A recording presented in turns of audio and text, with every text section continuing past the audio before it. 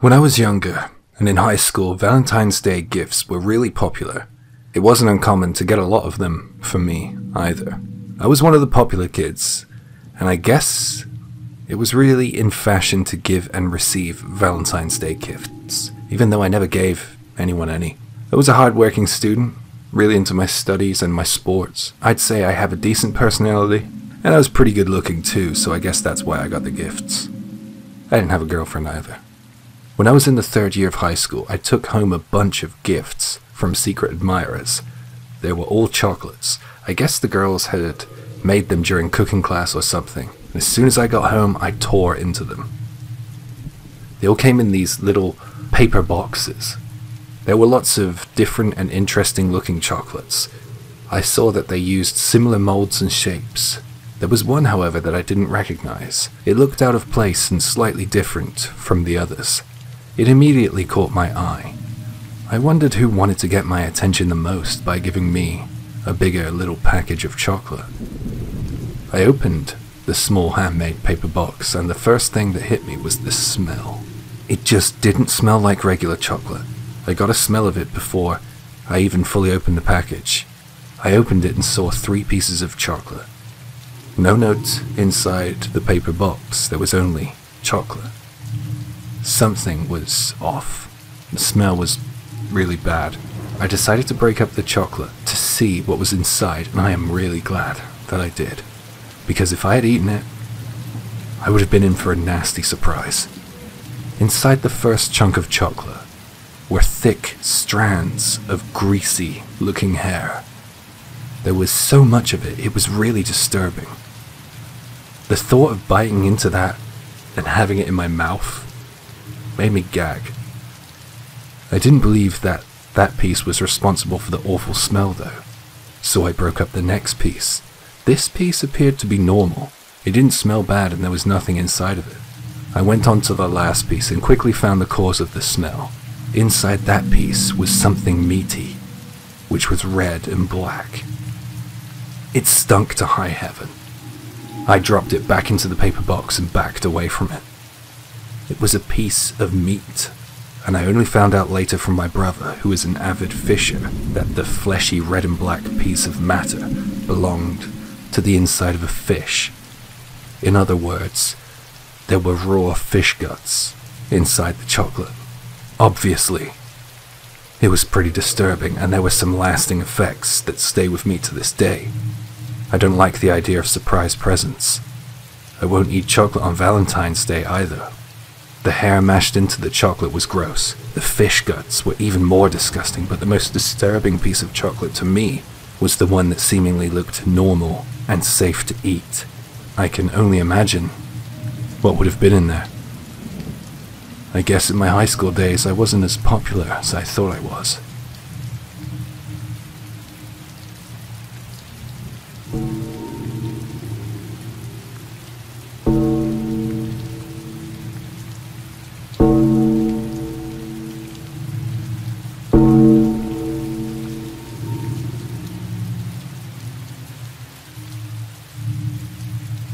This experience takes place a few years ago and involves my former friend, Kanae, and her former lover. Hey, since it's Valentine's Day, why not, huh? Her boyfriend was a good looking guy. He had a really good job in a big company, but the problem was, he was married with two kids. In other words, she was having an affair. But she was really happy with it. I guess she felt it was all fine. It was kind of awful, but she was sure she could steal him away from his family, or at least extort him. She hatched a plan. She wanted to engineer a situation where he broke up with his wife and left his family. Therefore, his adultery would remain a secret, and he wouldn't have to pay any alimony payments if they got divorced. You can probably understand why at this point I want to remind you that she is a former friend of mine. She was pretty open about the whole thing, and I think she held nothing back. She even showed me his wife online. She found her profile picture on Facebook or Instagram, I forget. She would constantly bring up his wife's profile on her phone whenever she saw me to seemingly mock her and attempt to belittle her. When I saw her photos, I wouldn't join in on the bashing. I mean, to me, she just looked like a bright and beautiful woman. Maybe she put her down to make herself feel better, or to make her feel a little more easy with what she was doing to their family. Kanae was too much. I was overwhelmed by her daily updates and the spewing of her bare desires. I would have tried harder to distance myself from her, but she was literally working in a building on the same street I was living on. She was running her own business, and I walked past her store every day to use the subway, so she was unavoidable. One day I was in the food court of the mall in our town with my daughter, and I noticed my friend's boyfriend and his family walk in. I knew them both instantly because of the way Kanae had been so eager to show me photos of them. They looked like a really nice family, like the kind you would see on the cereal boxes in days gone by. Everyone was smiling and enjoying their meals. It was awful being in the know. The father looked so nice and in love with his family. What a shame he was messing around on them. I was thinking of this while feeding my daughter her food. She knocked her soft toy off the edge of the table. I stooped to pick it up. As quickly as I could, but a hand lay on top of the toy before my hand could reach it. Without meeting the eyes of the owner of that hand, I called out, Oh, thank you. I rose up to my seated position and saw a smiling face with an arm outstretched, offering me the toy. She was beautiful and bright looking. I knew that face. It was his wife. The woman I had seen in the photos online. My friend was having an affair with her husband, and she was right, here in front of me. I suddenly felt a sharp internal pain in my chest, the pang of knowing more than I should, of second-hand guilt or embarrassment perhaps. I pretended to be calm and reached out for my daughter's toy, and I thanked the woman. The woman replied with not, uh, you're welcome, but in a low and deliberate tone she warned, Tell Kanae to watch out. I felt my blood burn cold. How did she know? I was at a loss for words. She placed the stuffed toy back in my hand, but I felt something else drop onto my palm. She smiled and turned back to her table. Their family went on laughing and enjoying their day. Meanwhile, my palms were sweating and my heart was palpitating. I placed the stuffed toy back on the table and fearfully looked at what had been dropped on my palm. I saw a few neatly folded pieces of paper there. I was freaked out but also incredibly curious. I needed to know, so I quickly opened them. Written in small print was Kanae's address, phone number, educational background, work history, family names with their occupations and ages, phone numbers and addresses. There was also a list of Kanae's friends and all of their personal information. I started to shake when I saw my name there. My phone number, my family members' names, and my address. Well, it was the first time in my life when I heard my heart beat like that. I didn't tell Kanae about what happened. I was furious. She was bad news. I found out a little later that she sent my husband a couple of inappropriate messages too. So I was justified to get rid of her. It seems like Kanae and her affair was shut down pretty quick. She let me know that happened in one of the final meetings I had with her. He apparently was furious with the way she spoke about his wife. Hmm. Not long after all this went down, I moved away, and of course, I didn't bother telling Kanae where I moved to. I also blocked all incoming phone calls from her number. She was just bad news. There was a really scary experience in that food court, and I still have the piece of paper she handed me.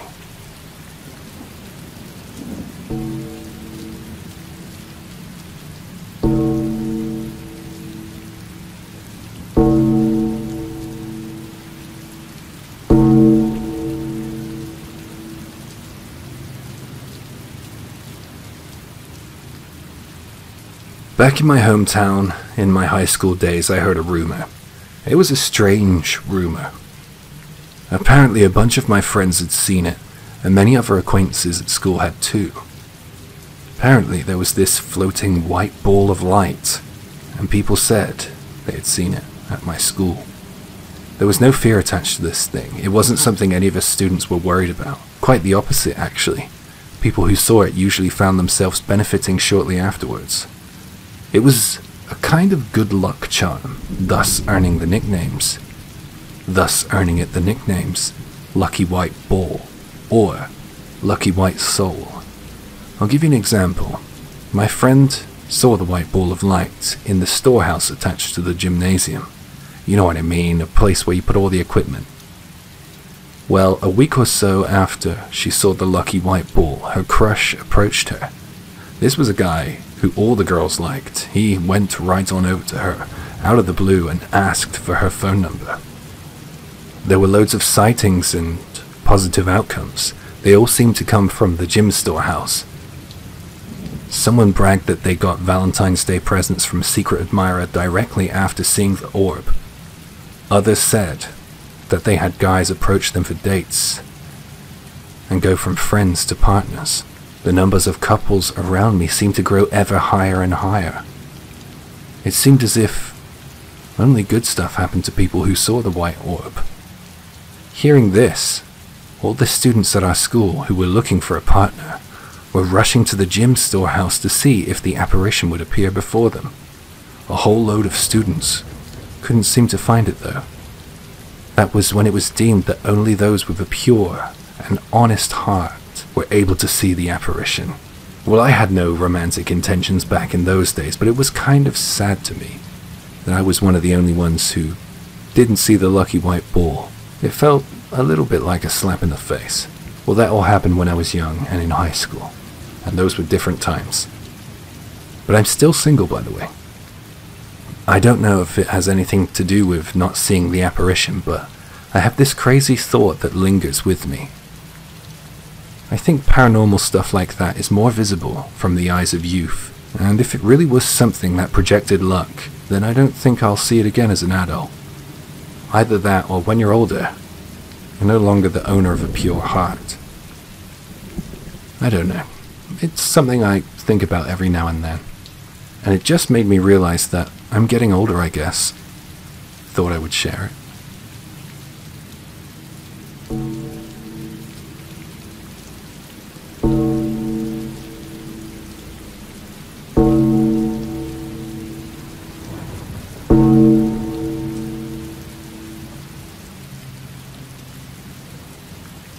This experience comes to my mind every time Valentine's Day rolls around. It happened a few years ago, but it still feels fresh. Back then I was in high school. I had a close-knit group of friends. We were all girls. We planned on making some Valentine's Day treats for our boyfriends. Well, three of us had boyfriends, but one didn't. She only had a crush. So anyway, we thought that we would bring our presents into school on Valentine's Day.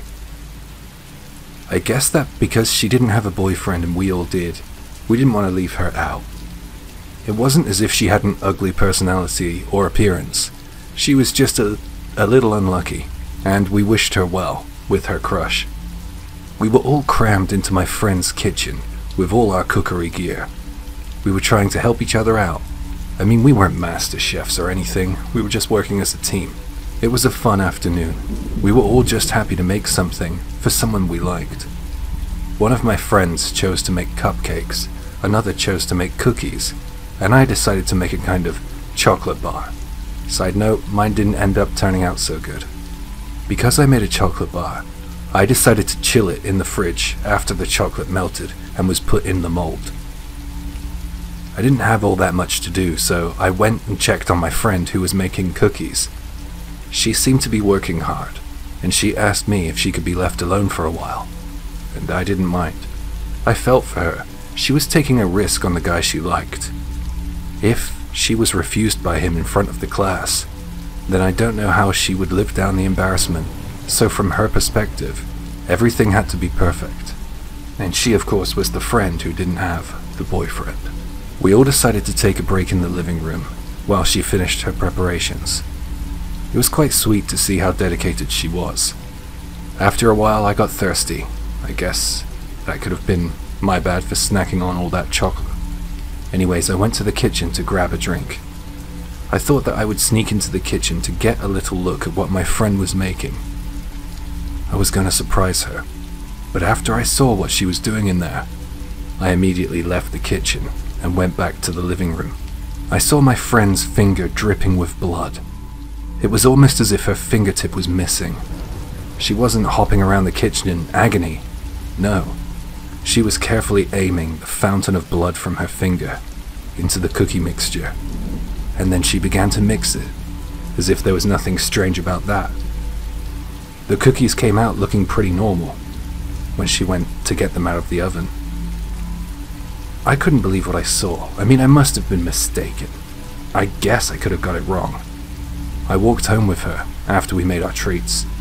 I saw a band aid covering her finger, and I asked her what happened. She said that she just cut her finger while making the cookies with a knife. Now, I am no Gordon Ramsay, but honestly, do you need a knife to make cookies?